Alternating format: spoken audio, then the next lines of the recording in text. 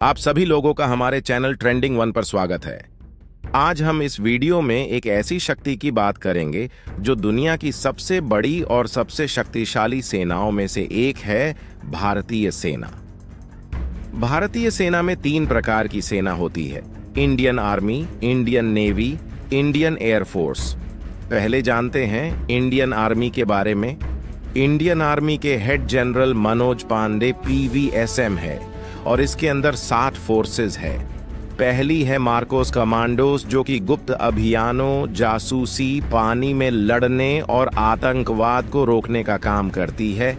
दूसरी national security guards वे महत्वपूर्ण लोगों की रक्षा करते हैं। टूट फूट की जाँच करते हैं।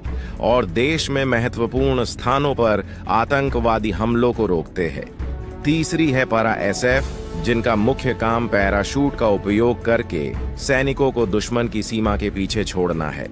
एक बार वहाँ पहुंचकर वे दुश्मन पर पीछे से हमला करते हैं और वे जो करते हैं उसमें वास्तव में अच्छे हैं। चौथी है, गरुड़ कमांडो फोर्स।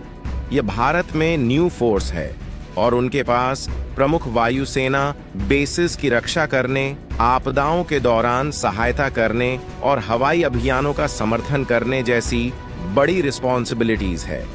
पांचवी है घातक फोर्स ये बाकी बटालियन से आगे बढ़कर हमला करते हैं। केवल सबसे मज़बूत और सबसे प्रेरित सैनिक ही घातक फोर्स में शामिल हो पाते हैं। वे आतंकवादी हमलों, बंधकों को छुड़ाने और उग्रवाद से लड़ने जैसी कठिन परिस्थितियों को सरल भाषा में संभालते हैं। छठी है कोबरा कमांडो। यह सीआरपीएफ की एक विशेष गोरिल्ला युद्ध कमांडो यूनिट है, जिसके पास जंगलों में लड़ने में एक्सपर्टीज है। मेजॉरिटी कोबरा टीम कमांडो जवानों में कठोर मानसिक और अत्यंत विपरीत परिस्थितियों में लड़ने में महारत हासिल है। अब आखिरी फोर्स है स्पेशल फ्रंटियर फोर्स भारत की एक खास ऑपरेशन यूनिट है। ये यूनिट चीनी सीमा पर अपने खुफिया ऑपरेशन और खुफिया जानकारी जुटाने के लिए जानी जाती है। ये इंडियन आर्मी का हिस्सा तो नहीं है, लेकिन उसके कंट्रोल में काम करती है। ये सीधा भारत की खुफिया एजेंसी रॉ के ज़रिए सीधा प्रधानमंत्री को रिपोर्ट करती है। ये डायरेक्ट एक्शन से लेकर खुफिया ऑपरेशन को अंजाम देती है। अब जानते हैं इंडियन नेवी के बारे में। इंडियन नेवी के head chief of naval staff of India R Hari Kumar है। नौसेना का मुख्य लक्ष्य भारत की समुद्री सीमाओं की रक्षा करना है।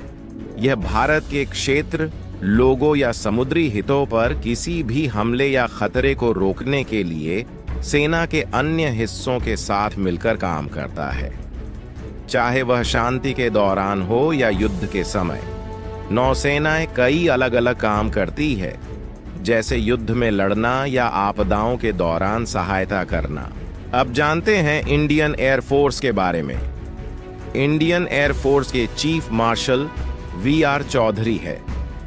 इंडियन एयरफोर्स मुख्य काम भारत के ऊपर आकाश की रक्षा करना और युद्ध के दौरान हवाई युद्ध लड़ना है। भारत में 60 से अधिक एयरबेस है। जिन्हें सात कमांडो में बांटा गया है।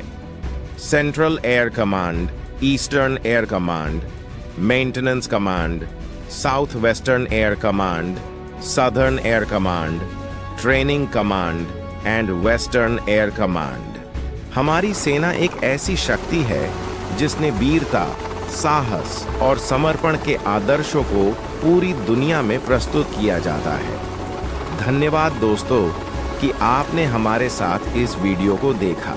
अगर आपको हमारी सेना के बारे में और अधिक जानकारी चाहिए तो हमारे चैनल को सब्सक्राइब करें और अपने दोस्तों के साथ इस वीडियो को शेयर करें। जय हिंद, जय भारत।